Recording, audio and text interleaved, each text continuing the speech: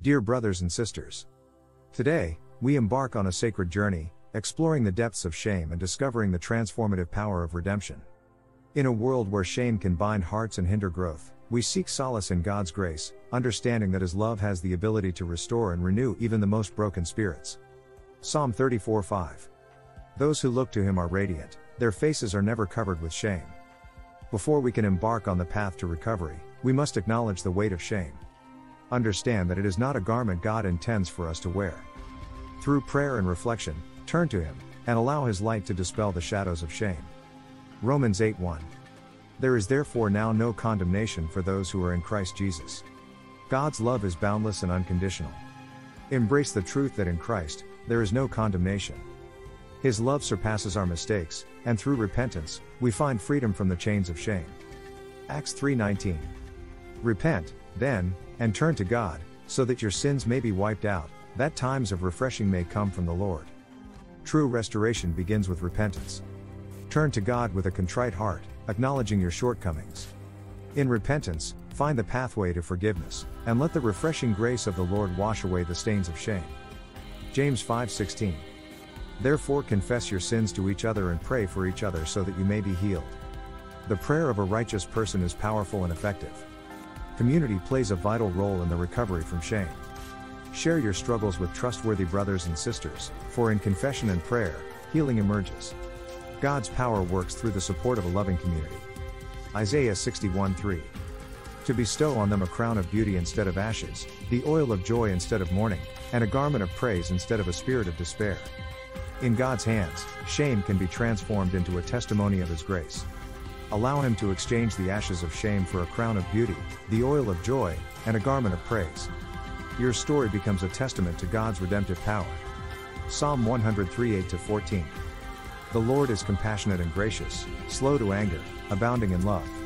He does not treat us as our sins deserve or repay us according to our iniquities. Extend the compassion of God to yourself. Understand that God's love is abundant, and He does not treat us as our sins deserve. Cultivate self compassion as an integral part of the journey toward recovery. 1 John 1 9.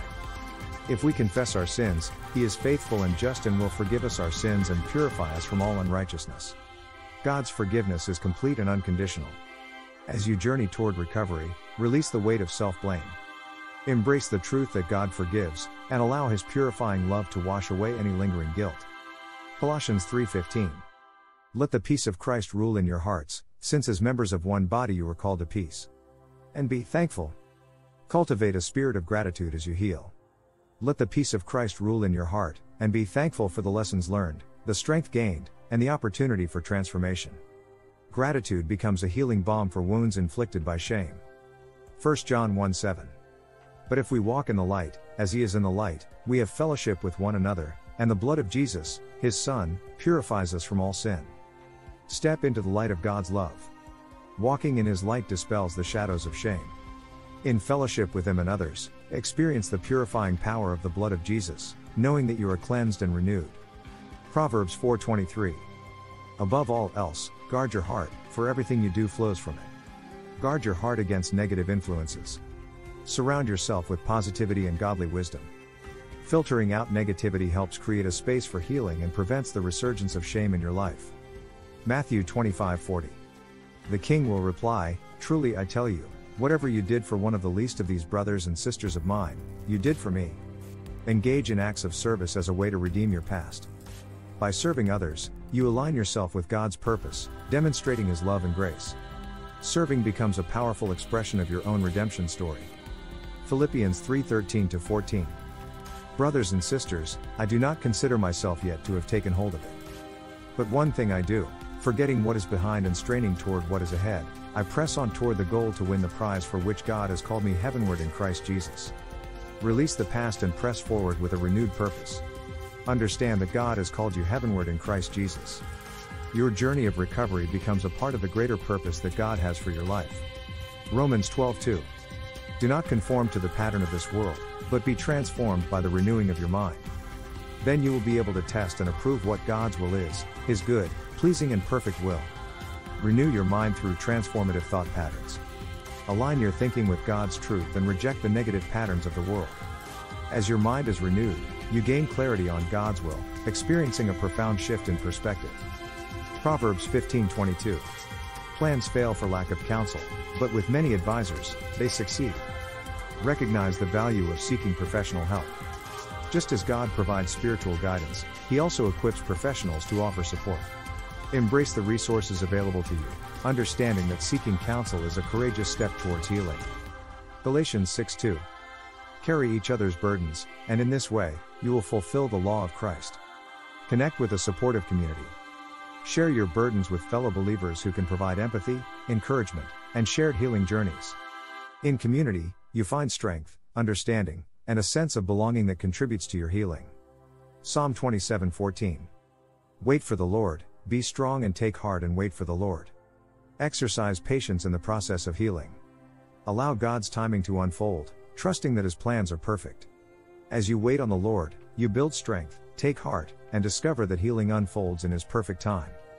Ephesians 4:32.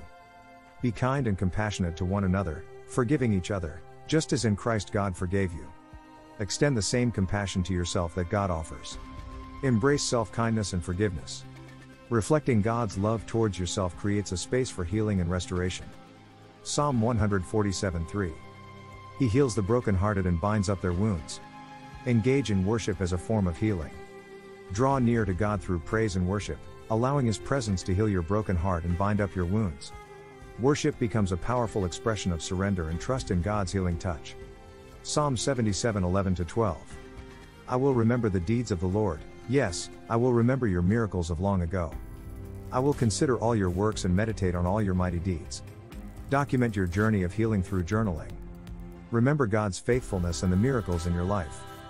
Journaling becomes a tangible way to reflect on God's transformative work and serves as a testimony to his grace.